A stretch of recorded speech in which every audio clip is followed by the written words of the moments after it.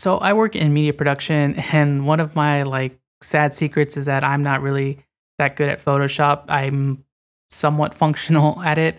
And what I've done is, even though I work in media production, I found ways and tools to basically work with other creatives, work with other designers, and uh, basically get the job done. So, what I wanted to do is share some of the little hacks and tips that I've uh, accumulated over the past years to make sure I can collaborate with people on a creative level.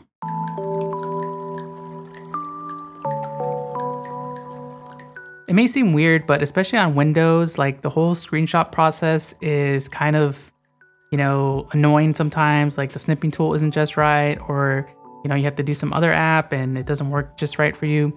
So, what I actually use a lot is XSplit Broadcaster, and this is really handy if you need to get screenshots of games or something like that because of Game Source.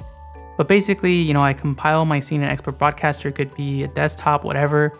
And there's this handy screenshot button, you click it and you have your screenshot. You can actually hotkey bind this to make it a lot easier. And make sure to check out xsplit.com slash capture in the future. There's going to be an even more handy tool for these types of captures. But having an easy, quick way to do screenshots is always very helpful for me, especially if I just want to show someone a quick idea or what I'm working on just to give like the thumbs up on what's going on.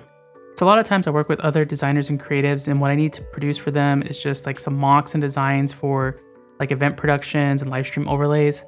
So what I actually use is XSplit Broadcaster to actually compose this. So like I can use like the color mat and the text source to kind of lay out where lower thirds and name bars will go and frames and just do kind of crude mockups, screenshot it and send it over. And I can even simulate animations using presets and source transitions. So like if I want something to fly in a certain way or have a certain timing, I can record these animations and send them over to designers as well. It's really helpful for making storyboards for videos as well. You can kind of simulate some shots and use some B-roll footage.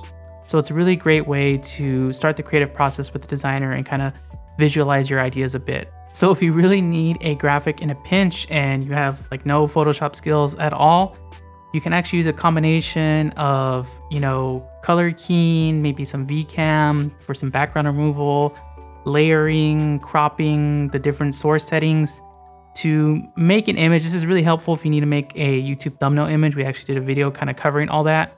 But basically, you compile your graphic however you can, you know, with different layers and cropping, and then you hit the screenshot, and then you have your image.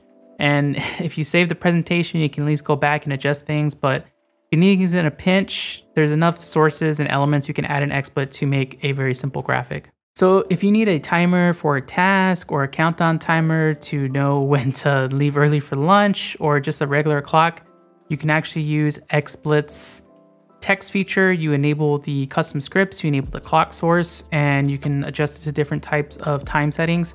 I personally actually like to use the clock function, especially when I'm doing a live production, because I put this on a scene that I send to the host so they can kind of look over at it and make sure that whatever segment they're doing is on time or behind, if they need to speed it up or slow down.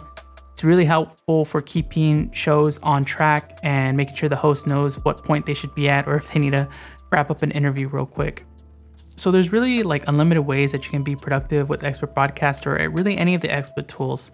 But I want to know from you, like, are there any productivity tips or hacks or tricks that you picked up in your career? And what was the last piece of software that you use? Let me know in the comments. Thanks again for watching. Give a like and share this video if it was helpful. And be sure to subscribe for the next time we're in the studio.